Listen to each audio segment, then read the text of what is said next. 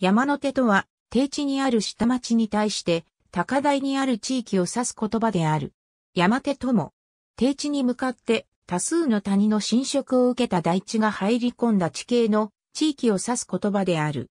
手の形に似た大地であるためという俗説があるが、誤りで、手は方向を表す。山側にあたる大地を山の手という。上記は山の手。以下は下町。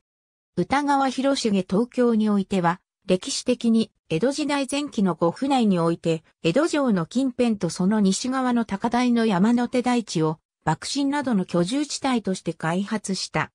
江戸時代中期以降は、江戸の人口増加によって土地が不足し、下町の本所などにも武家屋敷が造成されるようになり、町人との住み分けは曖昧になっていった。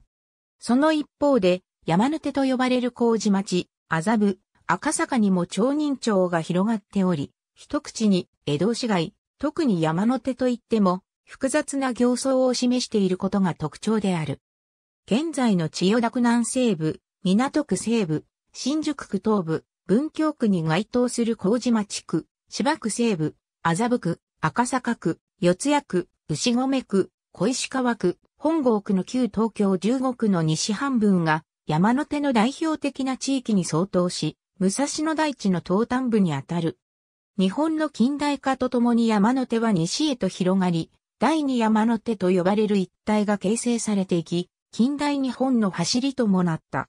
大正時代に入ると、関東大震災を契機に、山の手はさらに東京西部へと広がりを見せることになった。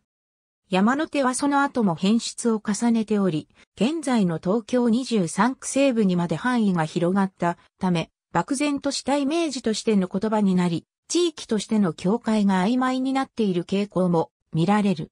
新型コロナウイルスの2020年度感染者数が100人に1人を上回る地域と概ね一致する。東京以外の他地域にも同じ意味を持つ山手、山手の地名が存在する。かつて、東京都の水害といえば、高等地域など海に面した地域で発生するものであったが、高度成長期になると、山手地域の土地利用が高度化。